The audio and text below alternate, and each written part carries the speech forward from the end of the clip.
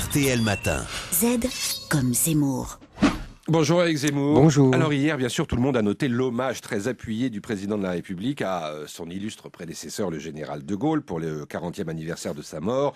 Hommage fait de références et de parallèles avec sa propre action, notamment sur le dossier des retraites. Il a dit que le général n'avait jamais reculé devant la nécessité de, de décider. Bref, Nicolas Sarkozy nous a fait comprendre qu'il inscrivait son action dans les pas de De Gaulle. Mais vous, Eric, vous estimez plutôt qu'il a enfilé les bottes de Giscard. Oui, euh, souvenons-nous, euh, qui voulut déjà en son temps désacraliser la fonction présidentielle? Qui fit du ski sous les caméras comme un autre fera du jogging? Qui remonta les Champs-Élysées à pied? Qui se voulut si près du peuple qu'il s'invita chez les Français?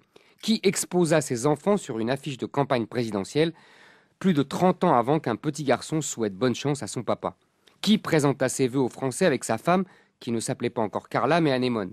Qui était fasciné par l'Amérique et surtout par Kennedy, qui relança l'Europe fédérale, qui inventa le G5, qui deviendrait le G8, quand Sarkozy fondera le G20, qui maîtrisait la télévision mieux que quiconque, qui plaida pour l'ouverture.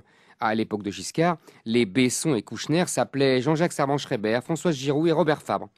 Giscard fut aussi, avant Sarkozy, le premier président de la République qui concentra tellement de pouvoir à l'Élysée qu'il fit de ses conseillers des super-ministres et rendit inutile son premier Premier ministre, Jacques Chirac. Même le destin s'y est mis pour rapprocher les deux hommes.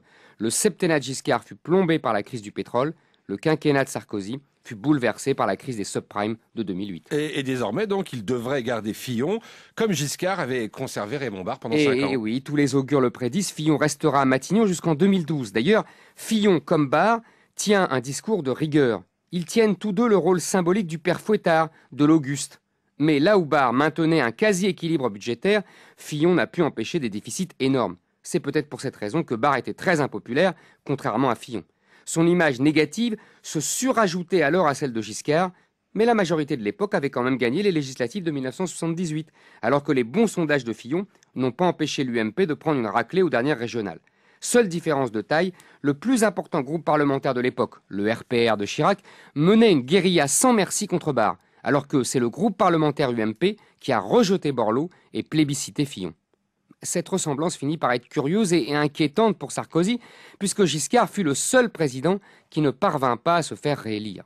Alors, depuis des mois, Alain Minck exhorte Sarkozy à ne pas répéter l'erreur de son prédécesseur. Borloo devait être le René Monory que Giscard n'avait pas osé introniser à Matignon.